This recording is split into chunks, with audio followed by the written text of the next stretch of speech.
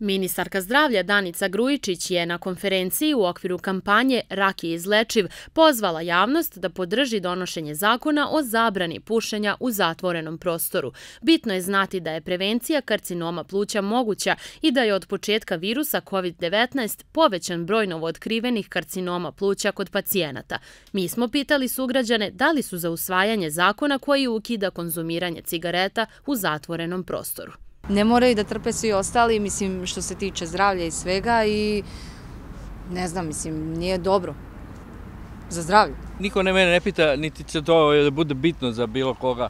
To je onako odlučuju tamo gde se sve odlučuje, bez obzira što odluči narod. Kome smeta, meni ne smeta, ali zbog drugih. Zato što me dim guši, zato što posle se osjetim na dim uđe u stvari, u kosu, i jednostavno mi ne prija. Pa zbog zdravlja prvenstveno i zbog disanja svežke zraka i svega.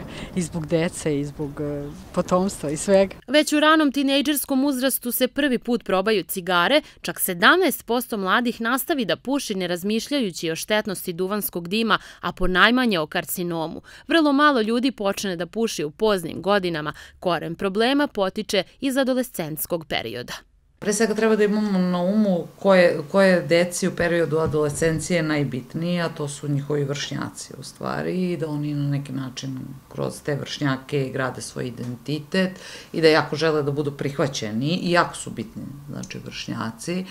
I zato bude najčešće pušenje jedan od okidača kako bi deca bila prihvaćena od strane svojih vršnjaka ono što pre svega roditelji trebaju da se zapitaju kakve su primjer deci, tačnije jesu li oni pušači ili nisu pušači. Prema podacima Udruženja za borbu protiv raka pluća, koje blisko sarađuje sa Ministarstvom zdravlja, svake godine od karcinoma pluća prosečno oboli 6.000 ljudi, od kojih 4.600 izgubi život. Da li smo kao društvo dosegli nivo samosvesti da možemo da izglasamo ovakav jedan zakon?